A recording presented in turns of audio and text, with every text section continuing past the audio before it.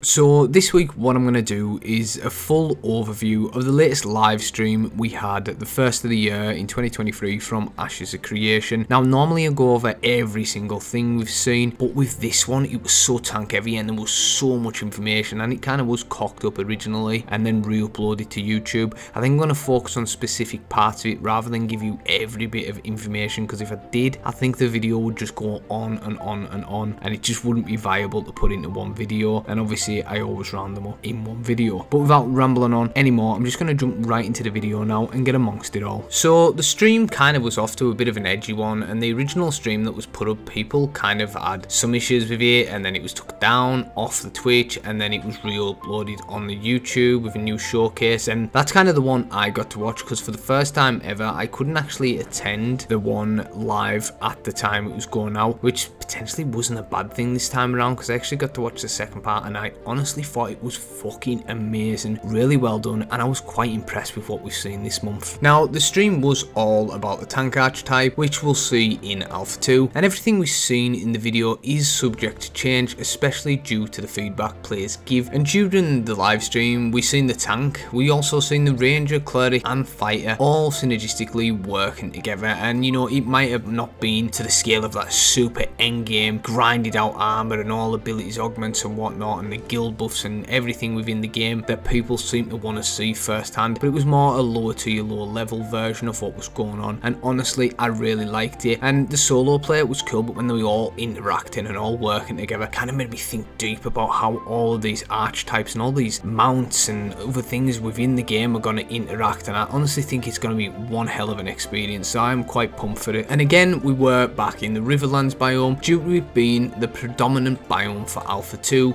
so I think they're just trying to show this off because I don't want to give away all the other stuff they've got going on. And you know, Steven's probably still working on that with Intrepid, but at the same time, I know they want to surprise and keep stuff secret. They don't want to give us everything, even at the end of Alpha 2. There's still going to be a lot of stuff we won't see till post-launch of the game. For this stream, the demonstration had set a task out to find the items of the Titan Bark armor that Steven was missing and a weapon and shield for Steven's character. So it was really cool. The goal was to go out there, get this armor and kind of show a mini like, you know, version walkthrough of how it's going to be and what you can expect from the game. Obviously, you don't really expect it's going to be much grander than this, but it just had to be shorter for the kind of showcase of what was going on. And in the stream, the Cleric also had an update which was focused on attack animations and the root motion for the Mace and Shield. They knew the Cleric was a rough first state during the last live stream and have since taken on another look at it. They've taken a focus on the post holds, quick transitions and overall cadence of it. We also got a look at some of the UI updates which included the quest journal, where the player can have 30 quests and 9 of them can be tracked. Linked to that was an objective tracker which appeared on the right side of the screen. There was also a backpack which was split into three tabs, inventory, materials and quest items. The backpacks also had a gold and silver indicator at the bottom which showed how much currency the player has and there was also an update to the world map UI. All of these were a work in progress and still are a work in progress so expect them to change but this is kind of the template going forward. I'm quite happy with what we've seen leading to Alpha 2. Do remember, this is pre-Alpha 2 things, pre-Alpha 2 footage and UI and abilities and whatnot. Don't expect this to look like this at the finished state post-launch. And then Steven give us a look at the tank attacks before any enemies were about. So they showed us the shield assault, and this does need obviously a shield to be used. It has a 10 second cooldown. They describe it as a way to engage the enemy. It does some damage and has a bit of mobility, and also creates a threat in a small area in front of you. The distance that a player can travel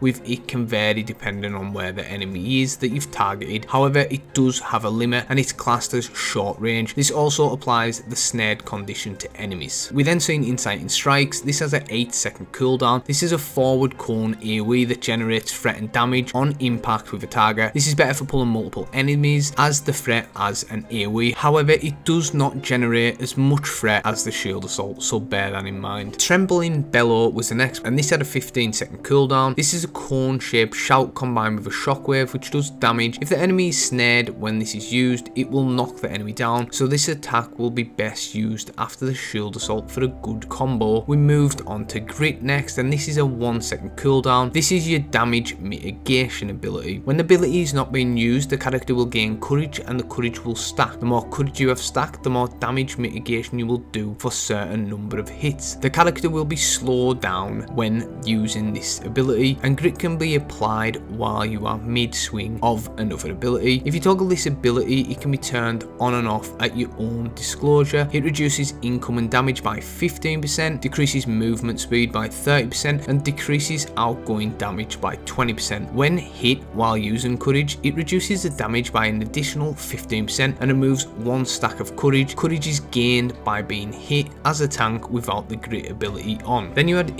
Aegis, this has a 20 second cooldown, creates a protective AoE around the tank for 15 seconds. It transfers 50% of all damage received by party members within the AoE to the tank. It removes any negative status effects from the tank and it increases party members resistance with the AoE while it's active. Then we were lastly shown the grapple and Steven had this ability however it needs a target to be used and it also still is being worked on and was missing some of the effects so I imagine that's going to change and tweaked about a lot so it could look vastly different again next time we see it. When used it throws a hooked chain that damages the first enemy it hits and then pulls them to the tank that casts it. This then applies snare to the enemy for 3 seconds and it would be great to use Trembling Bellow after this to knock down the enemy in that kind of combination. They then headed to the quest location which was intended for the full group which is 8 people however there was only 4 of them. We got to see the Orc-Bane Resonant which was the spectral flowing armor enemy using the melee weapon and the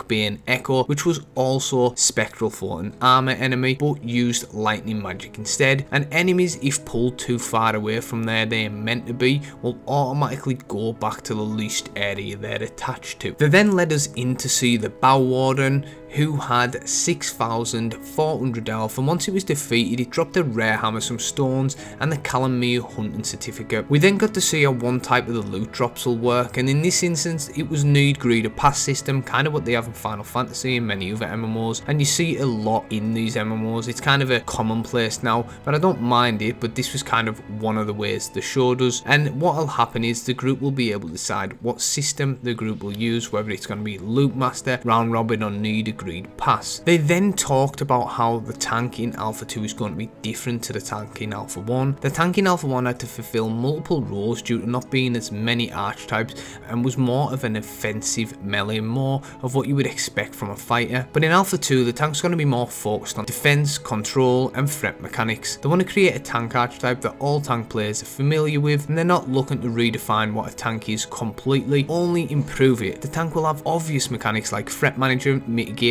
battlefield control and CC effects, but they also want to focus on a way to protect party members like the Aegis skill they've showed during the live stream. They're also doing this so the tank's more useful for PvP, so the players are encouraged to attack the tank rather than ignore them as the tank will be protecting the weaker players and you've got to understand this is a heavily based PvP game so this makes total sense. Steven then showcased how the abilities will affect long grass, each skill leaves a different imprint on the grass and honestly seeing this and how it flowed out was just fucking ridiculous. Like my PC is going to be fairly decent for this and I want to play this in 2 to 4K on ultra settings and I do believe it's viable for me to do that. I understand that's not the case for everyone but I really want to be immersed in this and what they've got to offer. Like this shit looks so impactful. Obviously like I'm PVX, I do enjoy my PvP but to have this immersion and that PvE with it is just brilliant. Like it's, yeah, I'm all for it and I really do like the effects and spells. They could decrease the lighting on some things a little bit but all in all, I'm not too asked. A lot of people seem quite annoyed by it all, but I think it's fucking amazing and they really are going in the right direction. I'm hoping they can really utilise that UE5 and just grow and get better with it as the team learns to, you know, use it and utilise it more efficiently or learn new things with it. Steven then went into details about how their combat and power level and tweaking it. In Ashes of Creation, the experience will adjust based on the level difference between the enemy and the player. When in a group, they also take into equation the highest character level and the lowest character level, and that will place a modifier on the experience. They also included an experience bonus for when the players are grouping, and the more people in the group, the higher the bonuses, and this is to promote players actually playing together and having full groups. Different areas that have been designed specifically and will be better for different group compositions. Now to that I say it's brilliant, that they're doing this and I really like that they're on the ball, but at the same time, I'm pretty confident there will be some way to power level, some bullshit, some exploit or some bug within the game. So don't go in thinking this will never happen. I, am pretty confident it will, but give due to Intrepid for really trying to figure something out and you know, I'm happy with that and it's good that they're trying, but unfortunately for Intrepid, some battles probably can't be won and players are smart as fuck and they will find a way around this stuff to be more efficient and more competitive, especially in a heavy PvP competitive political game like this. Also when the loot rules change, the players in the group get a notification and the majority must agree to it before it can be changed. So basically part of leader can't just tweak and change stuff, it's kind of a democracy based thing which is fairly decent. And another thing to note is active blocking will be available to all arch archetypes but will consume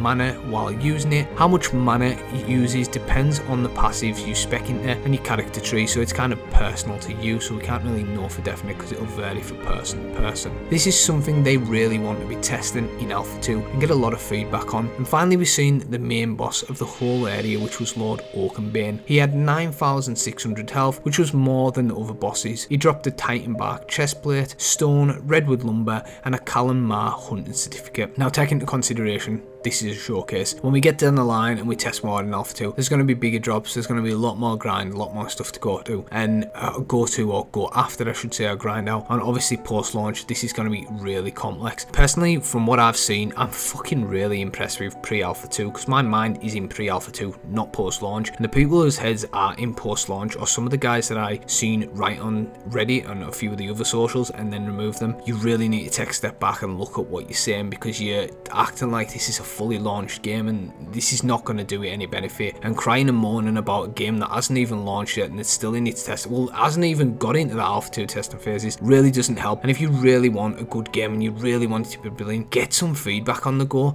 Don't just shout and scream and just say negative shit. It doesn't help. Like for the most part either the devs are going to be influenced in the wrong way and make fucking mistakes because they're listening to the wrong feedback or they're just going to get sick of you shut down their ears not listen to you and no one's going to care about your opinion because you've been so aggressive with us, just talking absolute bollocks, which doesn't help the game. Really think about what you're saying, and if you are passionate and maybe agitated by some things, express it on the forums. Take a step back, chill the fuck out, write something down on the forums, and get your opinion across. That is the best way you can do it. Knock out a video if you want to do some content. Just make sure you articulate yourself correctly and just take that time because I'm promising you, if you give that feedback in the right way, it can definitely change. Clearly, Intrepid's taking this shit on board, and you know, I'm really impressed. The December one for me was a bit chill and I kind of expected it. I wasn't too underhyped and I know a lot of folk weren't too happy with it. But this January update starting the year, fucking amazing. So well done to Intrepid Studios. I've got a lot more Ashes content coming as well as some Ark 2 stuff and potentially some other things in the works. Let me know though what you guys thought about this. Did you like the overview? Did you like the stream? Do you think I've missed anything? Obviously I know I've missed bits and bobs but it's just a really long video. These are the things that really got to me about the tank and I'm really impressed with the tank but what do you guys think? Do you think you don't like the direction of the tank? The animation's too much? Do you not like the effects when you're hitting the ground or the PvE or the PvX of it? Just let me know in the comment section below because I love reading them, I like seeing the feedback and I like seeing what people are thinking around how the game's developing and when do you guys actually think Alpha 2 will drop because now some folks are saying well it's definitely not quarter 1, we don't even think it's this year, some folks are thinking it's going to be in quarter 2 or 3. What's your opinion on that? Do you think from what we've seen here, if we see another couple, we could be heading in the right direction to actually see the Alpha 2 drop within quarter 2 or 3? I don't know. I'm kind of thinking it's definitely coming this year, but I don't think it'll be quarter 1. I think we may be heading to quarter 2 or 3 earliest, but that'll depend on the next couple of streams, I suppose. Also, take into consideration we've only got two more archetypes to see, and we aren't going to be seeing Summoner or Bard till Alpha 2 drops. So yeah, I mean, either that says they're polished and ready to go, and they're confident with them, or maybe need more work, but if that was the case, that still shows them. So yeah, I, I do think we're in the right direction for Alpha 2. I really like the progression the game is making at this stage in development, and I like the communication, so fucking well done to them. But as always, I do really appreciate you watching the video. Do give the video a share in your other communities. Feel free to join our community if you want to be active and talk about Ashes or Ark 2 or any of them things. Drop a like on the video and hit me in the comment section below. And as always, I'll catch you in the next one. Cheers.